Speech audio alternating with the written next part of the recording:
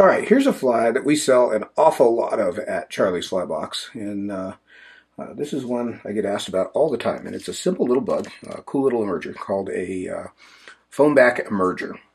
Um, and, and there's a few different variations on the theme, but it, they, they all boil down to this sort of simple little, um, little profile that I'm about to show you here.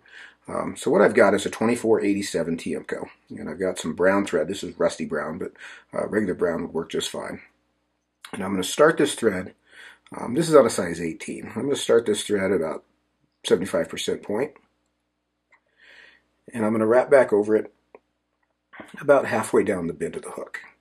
And once I get there, um, this is this is sort of where the variation comes into it. I've seen this fly tied a couple different ways, commercially even, um, and either using pheasant tail fibers for the tail or uh, a little shuck of, of Antron or Zelon or Darlon or something like that. Um, and I think either one is fine. I'm going to use some pheasant tail here because it was handy on my desk. So I've got, oh, probably five or six pheasant tail fibers here. And I'm going to tie them in at the bend with just a turn. And then I'm going to pull them down so that they're about a half shank long, fairly short little tail. Once I've got those in, then I can wrap forward over those butt ends. And honestly, with pheasant tail, if you just pull your thread tight and pop it, it'll break right off. Uh, that's the downside of pheasant tails. It's not terribly durable. Uh, so once my thread is there, I'm going to tie in a piece of extra fine copper wire. And I'll wrap back over it, back to the base of the tail as well. Clip that back in my material spring. Now for the body, it's brown dubbing. You could use rabbit or beaver or uh, even superfine dubbing. Um, I've got a little pinch of brown beaver dubbing here and I'm going to build the body out of this. So I'm going to apply this, um, and this is kind of a chunky little bodied fly. You know, it's not as um, you know commercially as commercially tied. It's it's not as slender as necessarily I would have done it, but it ain't my fly, so I'm just going to do it the way they uh, they whoever that is. I think we get these from Solitude, Ray Chang at Solitude. Um, but this is how they come. So kind of a chunky little body. I'm going to start that dubbing right at the base of the tail. And I'm going to dub darn near right up to the eye, just a little short of the eye. Um, and you can see I've got a little more dubbing than I need there with this beaver dubbing. It's a short fiber, so I can pull it off and just get that out of the way. So then I'm going to take my copper wire and I'm going to spiral wrap it through that body. Just nice, evenly spaced turns. Then I'll tie that off with my thread, get a couple turns on there, and with that fine wire, again, you just pop that and it'll break right out. Got a couple guard hairs sticking out. So pretty simple little little fly thus far. So now I'm going to take a little. Everybody asks, comes in and asks at the shop for the, the wing material for uh, a cylinder to tie this fly. You don't need a cylinder of foam. This is just a strip of foam. It's two millimeter foam. I've cut it about two millimeters square. Um, and I want the end to be pretty square there.